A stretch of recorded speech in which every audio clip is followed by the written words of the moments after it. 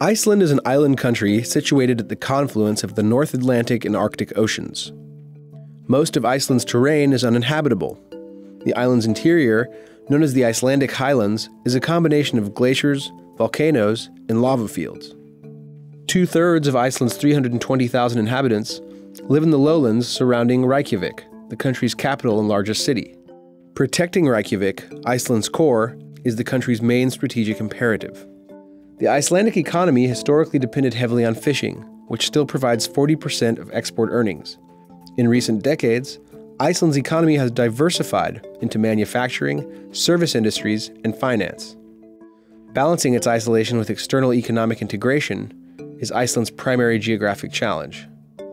Iceland has especially strong cultural and political ties with the other Nordic countries such as Norway, Sweden, Denmark, and Finland, because the island was under the rule of the Norwegian and Danish monarchies between the 13th and 20th centuries. Iceland became independent in 1918, and a republic was declared in 1944. Iceland's location also makes it geopolitically significant for Europe, particularly in light of the growing relevance of energy resources in the Arctic area. Moreover, Iceland's location in the so called GIUK Gap is strategic for naval military operations in the North Atlantic. Because of its geographical isolation, Iceland has to make a constant effort to keep strong economic ties with the rest of the world.